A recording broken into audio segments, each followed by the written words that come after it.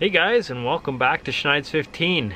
Uh, today we're up at uh, my trailer, uh, and we got a new project for you guys, so I thought I'd uh, touch base. I really, really wanted to uh, film this project where I got it from, from this old farm. Uh, long story short, I my Sears mower that I fixed up last year, I'll put a link in the description to it here.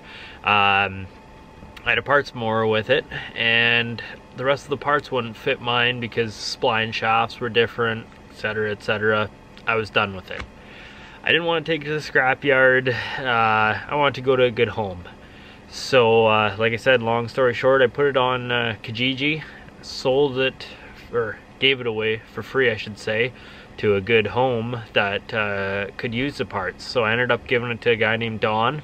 He has an original 68 Sears that he bought brand new and uh, he still has it. It's pretty sweet, old girl. Like it's rusty and stuff. It's beat up, but uh, yeah, it's pretty cool. So, anyways, he ended up coming to pick up the lawnmower. We started talking about stuff.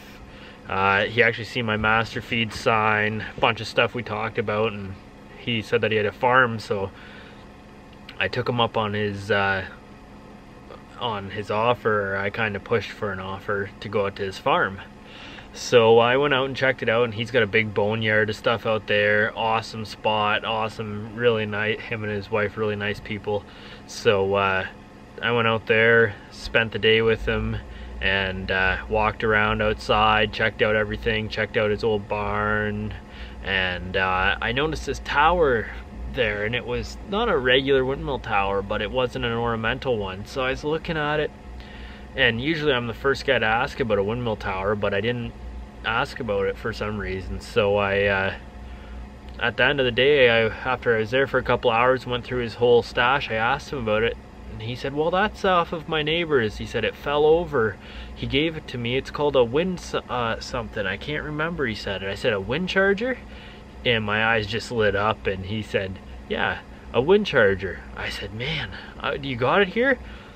So he said, "I got it all." Except the blades, the blades broke. Uh, I guess the neighbor wasn't was a really book smart guy, but not uh, not a handy man, and he anchored it into the tin on his barn roof, but didn't bother to see if there was any uh, trusses underneath, and it ripped out of the tin and fell over and broke. He only used it for about three months. So uh, I went and worked a week. Don uh, is retired, works around home, so he uh, worked at his place and worked away on finding the head and the building that it was in had collapsed so he had to go in cut his toolbox in half or his tool bench it was all rotten the building had collapsed anyway so he found it uh, it ended up sitting in the dirt it was seized I went out and picked it up so uh, I got home yesterday jumped the gun it was dark and I started cleaning parts but it's still in the condition that I uh, got it in pretty well. So I'll uh, I'll show you guys the tower and I'm gonna show you the mill. It's in pretty good shape and I'm gonna leave it original and I'm just gonna show you it uh, and show you as we work on it. So here's the tower. It's in pretty good shape. It's still got the blue paint on it. Everything's in not bad. The one foot there was a little rusty, but that's at least uh, minor details. Everything else is in good shape. And it's not like an eight foot water pumper that it weighs 500 pounds. This thing only weighs a hundred pounds or something. So there she is. It's 10 feet tall. Uh, but coming over here, just uh, getting my after work beverage going. But uh, here it is. The whole piece of metal going out to the vane here had been bent and it had a huge bend in it. It bent like 90 degrees, 45 to 90 degrees maybe out the side. So I straightened out the piece because I wanted to use all this original blue paint. I wanted everything left original. So uh, I straightened it out and put some new bolts in there. It's got a little bit wavy in here and stuff, but uh, I whacked it straight with a piece of angle in there and stuff and in the whole distance is straight. All it does is hold the tail so it don't matter. Um, so when I got it, it was seized. Uh, it had a bunch of rust. It was laying on this side right here. As you can see, it's pitted very, very badly. so I went around with a grinder and cleaned it up, but that's all I did. And I oiled it to make it kind of have that cool patina look. Um, it's not getting restored. Gonna look like this, just the original colors on it. So it was uh, seized in there, like I said, so I whacked around the outside here, and it, it really wasn't seized that bad. Um, and I got it uh, freed up everything I cleaned up in there. Hit it with some brake clean. Brushes are nice and clean. Um, oiled up the bearings the best I could. I'm gonna run it like this for a while. Um, you can hear the brushes on there and stuff. Uh, I'm sure the bearings are making a little bit of noise, but uh, yeah, it looks pretty sweet. So one tip if you ever get one of these, and this is a 12 volt model, these screws will not come out and they're just toast. So all these cover plates, they uh, they're slotted. So you can just take a chisel and a hammer and just drive it underneath there and uh, then you can get those plates off and get everything cleaned up. So I'm not gonna run this thing like crazy, so we're gonna get it up and I gotta get a blade for it. So if anybody knows of a blade for it, let me know. See, as you can see, it's a little bent in here, that angle still. Not that it matters in the long scheme of things, it's straight. Um, like I said, this was bent 45 to 90 degrees around here. And yeah, so uh, it came with the original gauge. It's got a diode in it because this will run as a motor. So if you charge your battery, it can backfeed and it'll start turning the prop. Uh, so it's got a diode in there. It's where you hook up your connections. It's in not bad shape, rotted off there. Uh, the brake mechanism, this uh, swings out under centrifugal force and these go out, uh, where is it? I can do it here, like that. See how they twist and they'll grab wind and slow it down. And we got our brake drum here. It goes around here and then you can pull this and apply the brake so it will not turn if you know a storm's coming or something. But uh, yeah, so we're gonna just throw these back on and we're gonna install the tail. I'm gonna get the tail and let you guys watch. And then uh, we're gonna anchor the tower temporarily for now with just a wood base with some rocks on it.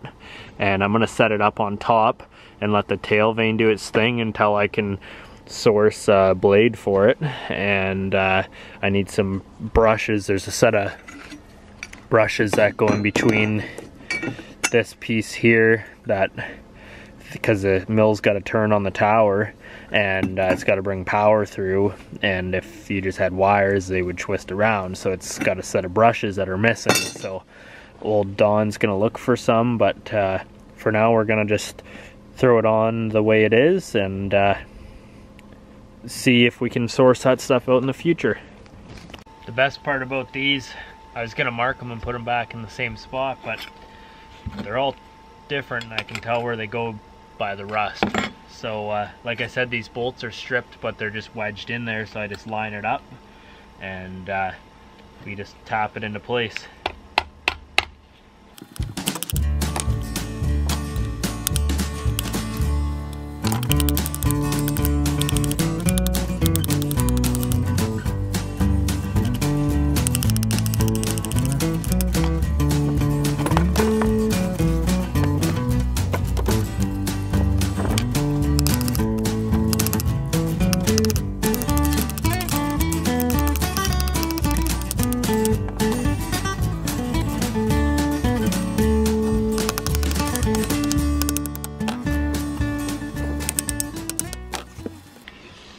So we're just gonna put the drum on for now, just for looks. Until, and we're just gonna set it up on the tower. All for looks, until we get blades. It looks like there's two different sets of holes, depending what model you have. Well, it's starting to look like a windmill now. I just uh, put that on temporary. It can just sit there, just so it looks not so bare up there when it's sitting on the tower. Uh, we're going to turn it around now and put the tail on.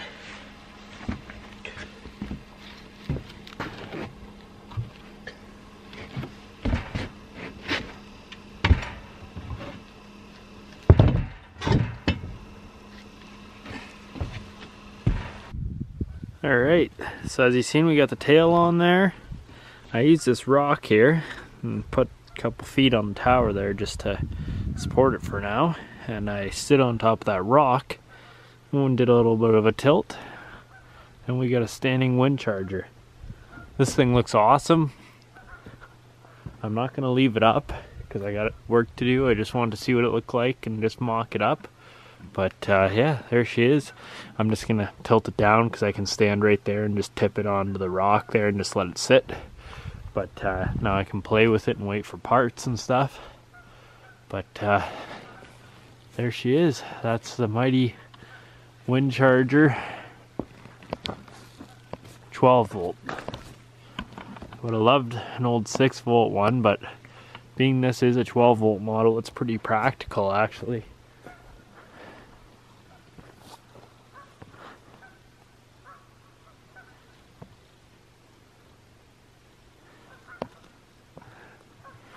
As you can see, we got lots of wind here.